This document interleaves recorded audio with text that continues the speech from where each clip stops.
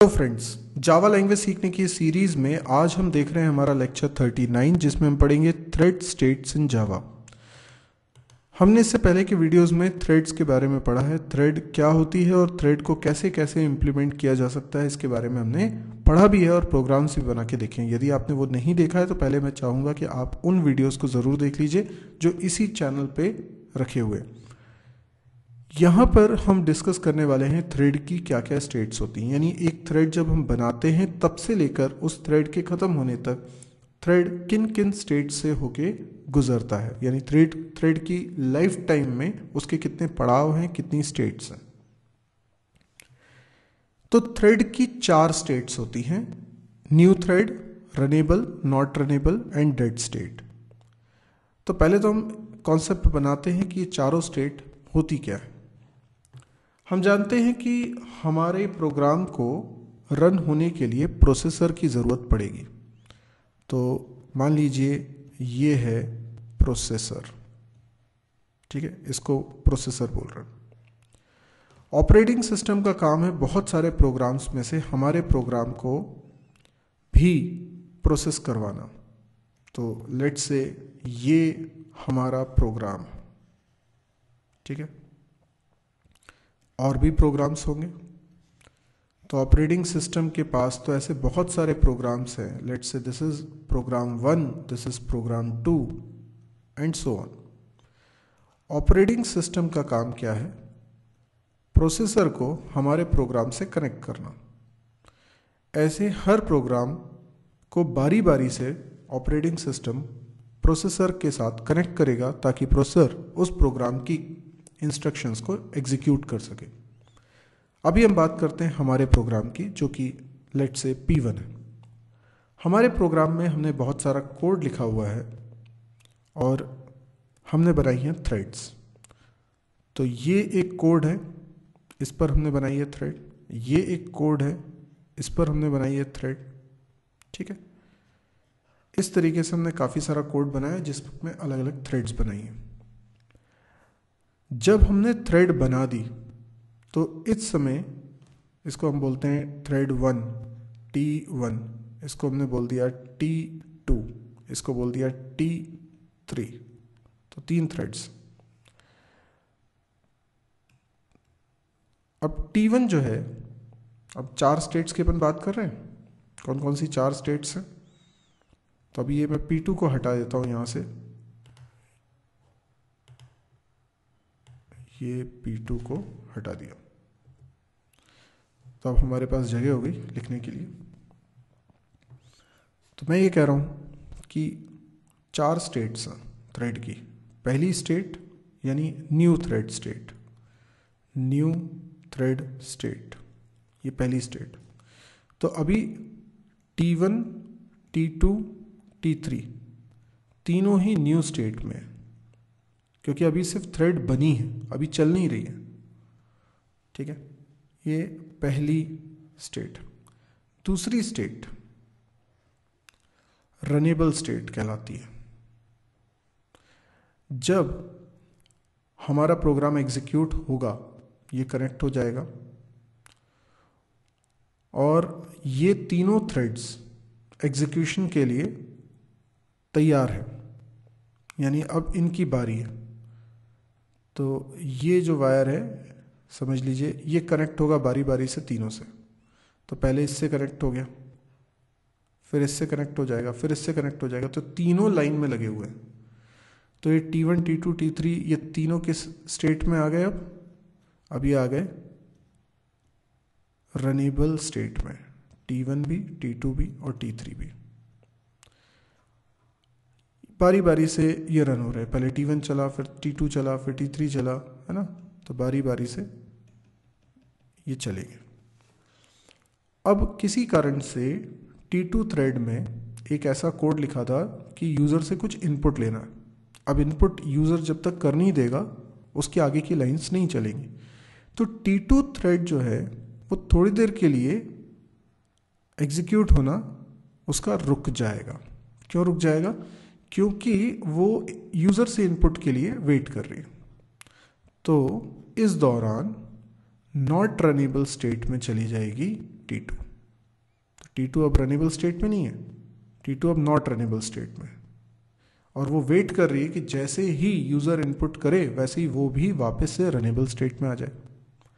यानी अभी T one और टी थ्री की बारी आ रही होगी। टी वन चला थोड़ा सा, फिर टी थ्री चला।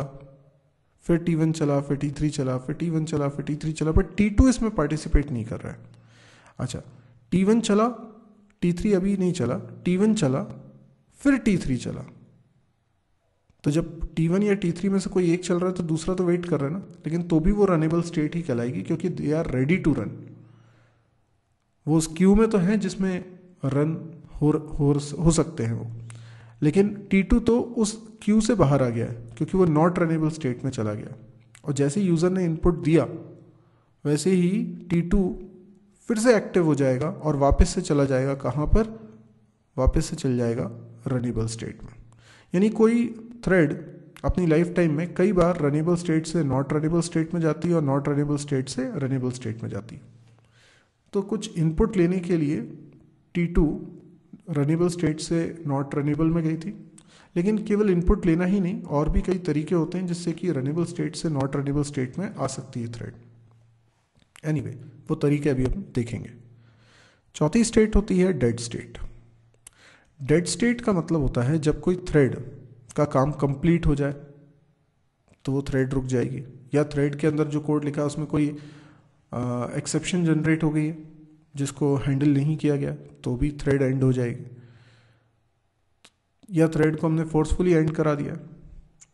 तो थ्रेड एक बार डेड स्टेट में चली गई तो उसके बाद फिर वो रन नहीं हो सकती। यानी वो लाइफ थ्रेड की एंड हो गई। तो पहली state new thread state a thread in the state in this state when the instantiation of thread object creates a new thread मतलब जब आप थ्रेड क्लास का ऑब्जेक्ट बनाते हो तो वो न्यू थ्रेड स्टेट कहलाती है। अभी थ्रेड चल नहीं रही। अभी आपने ना स्टार्ट फ़ंक्शन कॉल किया, कुछ कुछ भी कॉल नहीं किया। आप इस स्टेट में रहते हुए केवल स्टार्ट या स्टॉप फ़ंक्शन को ही कॉल कर सकते हैं। बाकी किसी फ़ंक्शन को अगर कॉल करेंगे तो एक चेक्ड एक्सेप्शन आती है इलीगल थ्रेड स्टेट एक्सेप्शन इसके बाद है रनेबल स्टेट जैसे रने जैसे आप थ्रेड बनाने के बाद स्टार्ट फ़ंक्शन को कॉल कर लेते हो तो रनेबल स्टेट में आ जाती है थ्रेड और बारी बारी से वो रन होती जा रही है। हो सकता है कि किसी कारण से वो अब नॉट रनेबल स्टेट में जाए। क्या कारण हो सकते हैं? चार कारण हो सकते हैं। एक मेथड है स्लीप थ्रेड क्लास का ही एक मेथड है स्लीप जिसमें हम आर्ग्यूमेंट के रूप में दे, देते हैं मिली सेकेंड्स तो उतने मिली सेकेंड के लिए थ्रेड स्लीप कर जाती है यानी सो जाती है। तो वो उस क्यू से बाहर आ जाती है जिसमें कि थ्रेड्स रन हो रही हैं। तो यहाँ पर स्लीप फ़ंक्शन के कॉल करते ही थ्रेड नॉट रनेबल स्टेट में आ गई है। और स्लीप फ़ंक्शन में जो टाइम आपने मेंशन किया है जब वो टाइम एक्सपायर होगा तो ऑटोमेटिकली वो थ्रेड वापस से रनेबल स्टेट में आ जाएगी। एक फ़ंक्शन है सस्पेंड सस्पेंड फ़ंक्शन को भी कॉल करके हम किसी थ्रेड को फोर्सफुली नॉट रनेबल स्टेट में पहुँचा सकते हैं, लेकिन ये अब मेथड डेप्रिशिएट हो चुका है, यानी अब यूज़ नहीं होता है। इसके बाद एक और फ़ंक्शन है वेट वेट फ़ंक्शन का भी वही काम है कि जब हम वेट फ़ंक्शन को कॉल कर लेते हैं तो थ्रेड वेटिंग स्टेट में चल जाती है, इसका मतलब नॉट रनेबल स्टेट में चली जाती है। थ्रेड किसी इनपुट या आउटपुट ऑपरेशन को परफॉर्म करने के लिए भी, जैसे कि अभी हमने एग्जांपल में देखा था कि कुछ इनपुट हो रहा है तो जब तक इनपुट हो नहीं जाएगा तो थ्रेड नॉट रनेबल स्टेट में आ जाएगी। और वापस रनेबल स्टेट में जा सकती है। स्लीप फ़ंक्शन के कारण अगर आप नॉट रनेबल में आए थे तो जैसे ही टाइम एक्सपायर होगा ऑटोमेटिकली रनेबल स्टेट में आ जाएगी। अगर सस्पेंड फ़ंक्शन कॉल किया था तो रिज्यूम फ़ंक्शन उसका काउंटर पार्ट है, जिसके कारण वापस से रनेबल स्टेट में आ जाएँगे। पर ये सस्पेंड और रिज्यूम फ़ंक्शन दोनों ही अब डेप्रिशिएट करे जा चुके हैं, इसलिए इनको हम यूज़ नहीं करते हैं। अगर आप वेट फ़ंक्शन के कारण नॉट रनेबल स्टेट में लाए थे थ्रेड को तो उसका काउंटर पार्ट है नोटिफाई या नोटिफाई ऑल जिससे कि हम थ्रेड को वापस से रनेबल स्टेट में आउटपुट ऑपरेशन परफॉर्म करने के लिए यदि थ्रेड नॉट रनेबल स्टेट में आई थी तो जैसे ही वो इनपुट या आउटपुट ऑपरेशन परफॉर्म हो जाता है ऑटोमेटिकली वापस से रनेबल स्टेट में आ जाएँगे। और एक बार थ्रेड का काम कंप्लीट हो गया, उसका रन फ़ंक्शन कंप्लीट हो गया है तो थ्रेड डेड स्टेट में चली जाती है, या फिर आपने फोर्सफुली स्टॉप फ़ंक्शन कॉल किया है तो भी डेड स्टेट में चली जाती है, या फिर कोई एक्सेप्शन आती है जो कि हैंडल नहीं की जा रही है तो वो कारण भी हो सकता है थ्रेड का डेड स्टेट में जाने का। तो ये थी थ्रेड की स्टेट्स यदि आपको ये वीडियो पसंद आया हो तो आप इसे लाइक करिए। यदि आपको लगता है कि इस तरह के वीडियोस और भी देखना चाहते हैं तो आप इस चैनल को सब्सक्राइब करिए। आप मेरी वेबसाइट www.mysarji.com को ज़रूर विज़िट करिए, क्योंकि यहाँ पर मेरे सभी चैनल्स के लिंक हैं। हर चैनल पे कौन कौन से वीडियोस हैं, उनके लिंक है। बहुत ऑर्गेनाइज्ड मैनर में सारे वीडियोस के लिंक वहाँ मिल जाएँगे। यूट्यूब में हो सकता है आपको ढूँढने में दिक्कत जाए, लेकिन वहाँ पर आपको ईजिली सारे वीडियोज़ अवेलेबल होंगे। आप उन्हें फ्री ऑफ़ कॉस्ट देख सकते हैं। और उस पर रेगुलरली मैं नए वीडियोज़ अपलोड करता रहता हूँ, उसकी जानकारी भी आपको ईजिली वहाँ मिल जाएगी। इसके अलावा प्रोग्रामिंग एक्सरसाइज भी है, जिससे कि आप प्रोग्रामिंग स्किल को भी डेवलप कर सकते हैं। यदि आपको लगता है कि ये वीडियो आपके बहुत काम आया है तो आप जैसे और भी कई सारे लोग हैं जिनके ये काम आ सकता है। तो आप एक भलाई का काम ये ज़रूर करिए कि इस वीडियो को अपने फेसबुक वॉल पे शेयर कर दीजिए। आपके शेयर करने से कई लोग इसको देखेंगे और मेरा मकसद भी यही है कि ज़्यादा से ज़्यादा लोगों तक इन वीडियोस को फ्री ऑफ़ कॉस्ट प्रोवाइड करना है ताकि नॉलेज के लिए कोई बैरियर ना रहे। Thank you